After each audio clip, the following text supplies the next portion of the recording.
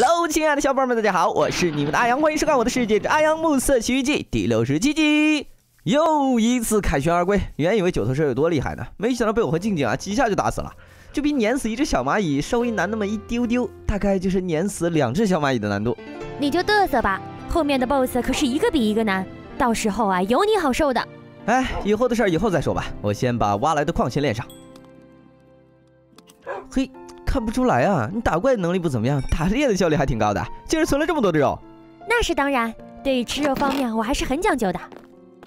哦，对了，你这里有素食吗？老是大鱼大肉的我也吃腻了，还容易长胖，想吃点素食控制一下身材。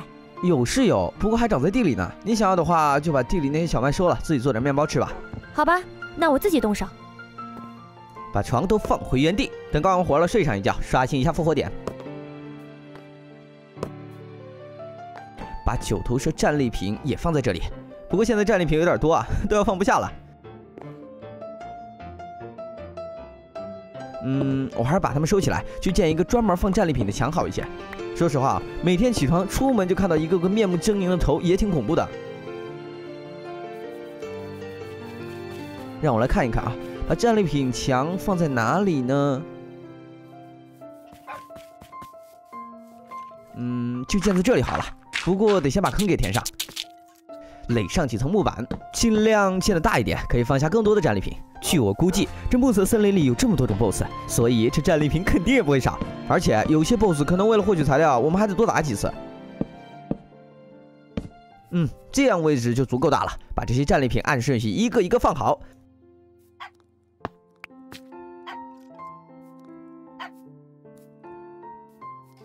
这个谜题羊呢，不能算是 BOSS，放在另一边和他们区分开来。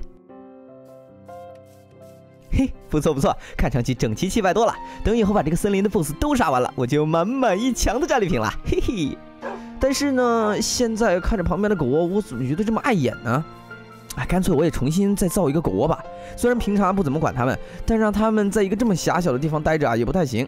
先回去做两根拴绳，把它们给牵出来。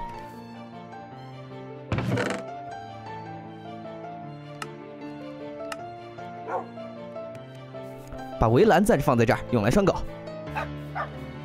嘿，来来来，先委屈一下你们啊！哎，在外面将就一下，等我给你们搭好更好的避风港，再带你们过去。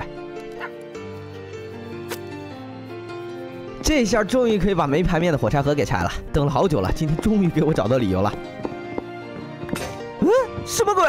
我的附魔金斧头被我挖爆了！哎呀，这把可是能媲美钻石斧的，我也太不小心了。刚刚干明明还有不少耐久的，怎么就……哎，也不来个老爷爷问我有没有掉东西。就算给我钻石斧我也不要，我只想拿回我的附魔金斧头啊！嗯，要是被小月知道了，又要说我粗心大意了。算了，就这样吧，旧的不去，新的不来，以后找个更好的，赶紧找个空地儿把新狗窝搭好才是。